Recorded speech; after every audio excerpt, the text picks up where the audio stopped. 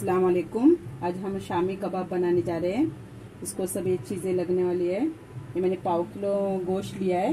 मैंने इसे छोटे छोटे टुकड़े करके ली हूँ ऐसे और ये एक कप दाल ली थी चने की। उसको मैं भिगा के रखी थी सुबह से। और अभी बना रही हूँ। पंद्रह मिनट में भीग गई ये दाल।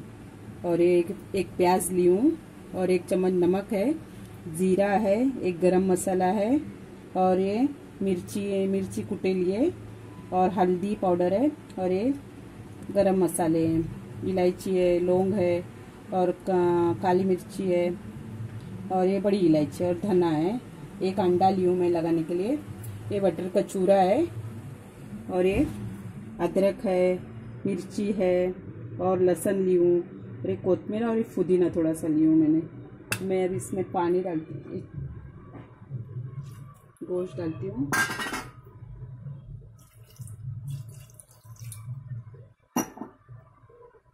और इसमें चने की दाल भी डालूँगी।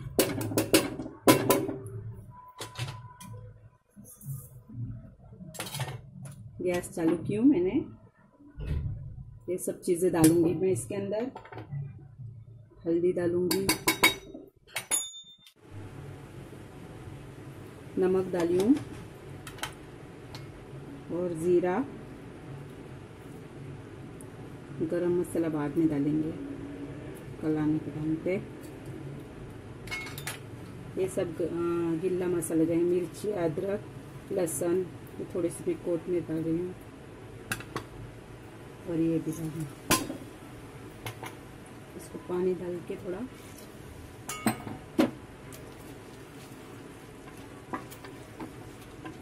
इसको थोड़ा पंद्रह मिनट, पंद्रह दस मिनट में पक जाएगा ये। दो दो तीन सीटी में हो जाएगा। मैं कुकर का ढक्कन लगाती हूँ। ये हो चुका है। इसलिए मैंने छोटे छोटे पीस रखे थे कि जल्दी पक जाता है। अभी ये ठंडा होने के बाद में मैं मिक्सर में ग्राइंड करके लूँगी।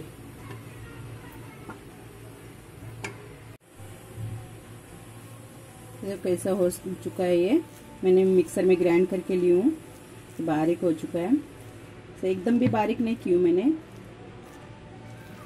अच्छे से हो गया मैं इसमें निकालती हूँ। इसमें मैं निकाल के ली हूँ। ये मैं प्याज डाल रही हूँ। एक प्याज ली हूँ मैंने बारीक चॉप करके। और एक गरम मसाला डालेंगे इसमें। ऊपर से डाल रही हूँ मैं। पुदीना थोड़ा सा है और कोतमीर है। इसको एक ठिकान से करेंगे मिक्स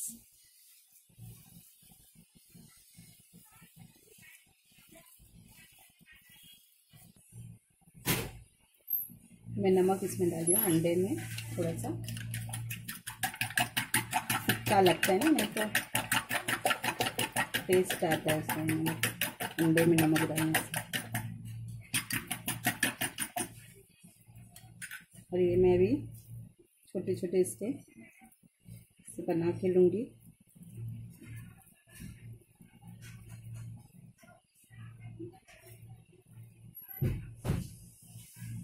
ये बटर के चूरे में इसको सब लगा के लूँगी।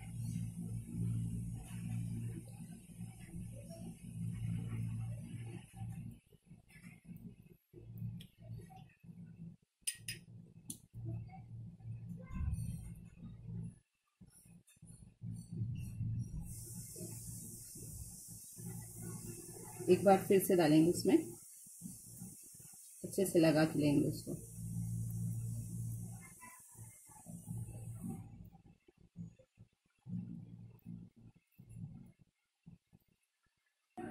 हाथ को ज़रा तेल लगा के सा, सब ऐसे बना के लेंगे।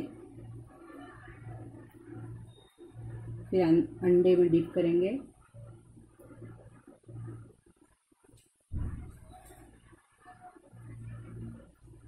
इसे इसको ही। लगाएँगे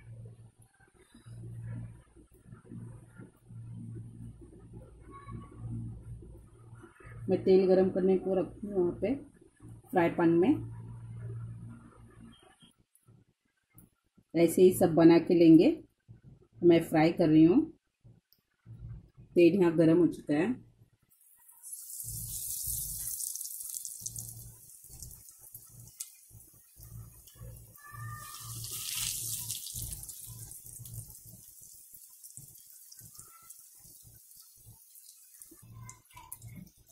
देखो ऐसे फ्राई हो चुके हैं।